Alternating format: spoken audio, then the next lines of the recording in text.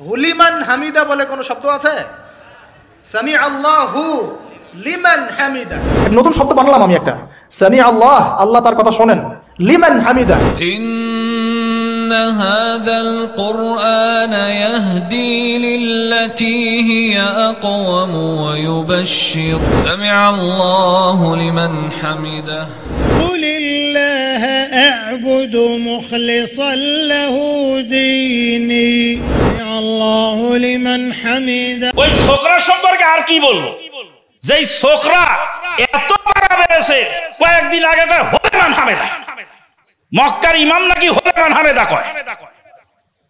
হ্যাঁ, শিখতে হবে, কীভাবে স্বামী আল্লাহ হামেদা বলতে হয়, ওটা মক্কার ইমাম এসে ওনার কাছে শিখতে হবে। এই সমস্ত বেয়াদবদেরকে যারা, কি বলে, আপনার উৎসাহ দিচ্ছে। তাদেরকে নিয়ে সাপ নাচান, নাচাচ্ছে। তারা আর যাই হোক না কেন, আহলাদিস আন্দোলনে যে দুশ্মন, এটা কোনো সন্দেহ নাই। সজাগ আমাদেরকে থাকতে হবে। এই সমস্ত লাগামহীন বক্তাদেরকে লাগাম এখন না টেনে ধরলে গোটা আহলাদিস জামাতকে খেসারত দিতে হবে। আপনাদেরকে উদাত্ত আহ্বান জানাচ্ছি, দুনিয়াদার না হয়ে পরকালের নাজাতের জন্য নিজের ভিতরে এখলাস পয়দা করুন। এখলাস ছাড়া যত বড় আলেম হই না কেন, আর যত বড় দায়ী হই না কেন, ইহকাল পরকালে নাজাত হবে না। কাটাহেরি খন্ত হও কামল তুলিতে, দুঃখ বিনে সুখ লাভ হয় কে মহিতে।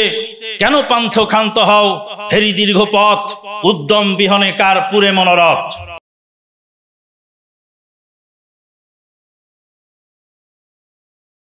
এই তো সেদিনের কথা।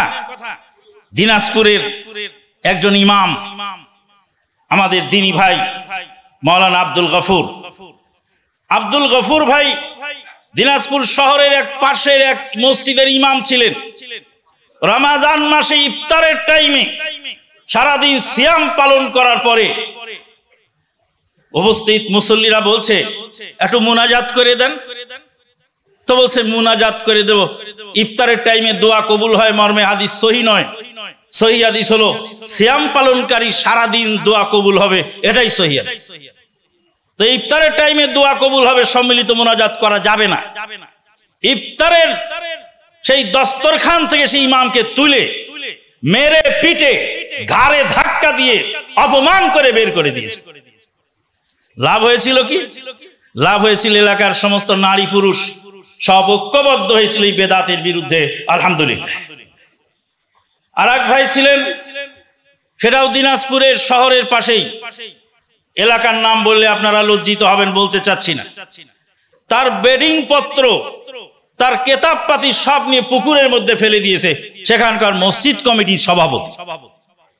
আমি গেছিলাম মীমাংসা করার জন্য। খুব গলাবাজি। ওলামক মৌলবী মোনাজাত করে।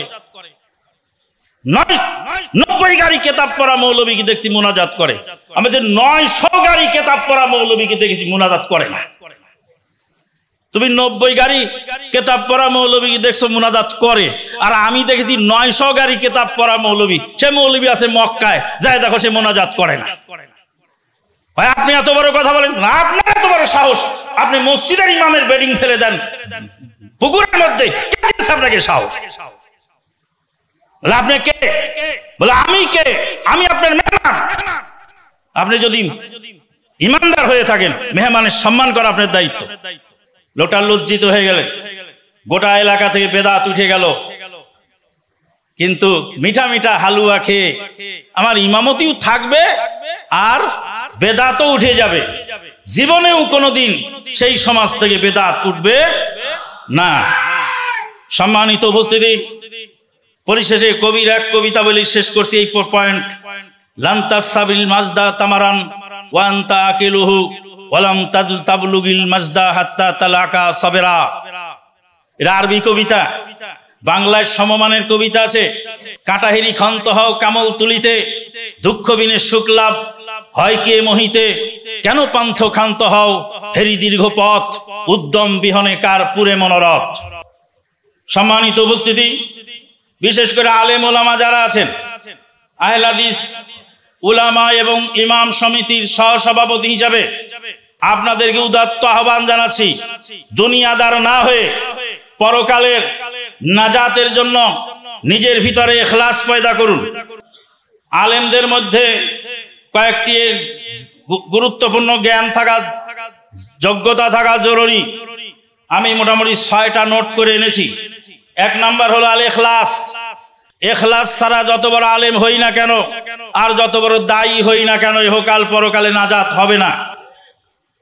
এই জন্য ইমাম বুখারি রাহেমাউল্লাহ সহিউল বুখারির শুরুতেই অধ্যায় চয়ন করেছেন, বাবু কাইফাকানা বদবিল ওয়াহি এলান নবী সাল্লাল্লাহু সাল্লাম কীভাবে ওহির সূচনা হয়েছিল? ওহির সূচনার অধ্যায়ে তিনি নিয়তের হাদিস আগে এনেছেন। ইন্নামাল আমালু বিন্নিয়াত। ওলামায়ে কেরামগণ বলছেন, ইমাম বুখারী রাহিমাহুল্লাহ, আজ থেকে প্রায় সাড়ে বারোশো বছর পূর্বে গোটা বিশ্বের বুখারি শিক্ষার্থীদেরকে বলে যাচ্ছেন, মেসেজ দিয়ে যাচ্ছেন, বুখারি পড়ার আগে তোমার নিয়তটা ঠিক করো। বুখারি যদি পড়ার উদ্দেশ্য হয় যে দুনিয়া কামানো, তাহলে ভিন্ন কথা। বুখারি কামান পড়ার আগেই তোমার নিয়তটা ঠিক করো। দুই নাম্বার হলো আদব। এলেম শিখার আগে আদব শিখতে হয়। এখন আমাদের বেদাতিদের মধ্যে তো আছেই। আহলাদিস সমাজের মধ্যেও অনেক তরুণ উদীয়মান দায়ীদেরকে দেখা যায়, আদবের বড় খেলাফ। ভাষা চয়নের ক্ষেত্রে খুব নিম্নমানের ভাষা প্রয়োগ করে থাকেন।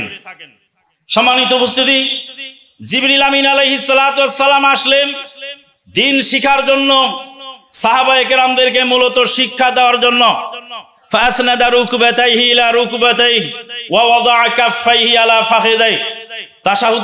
আল্লাহ নবীর সামনে বসলেন, দুই হাত রানের উপরে রাখলেন। এখান থেকে ইমাম বুখারি রাহেমাহুল্লাহ সহ উলামায়ে কেরাম আমাদেরকে শিক্ষা দিচ্ছেন। জিবরিল আমিন স্বয়ং শিক্ষা দিলেন যে এলেম শিখার আগে আদব শিখা জরুরি। বেআদব, আলেম দিয়ে কোনো কাজ হয় না।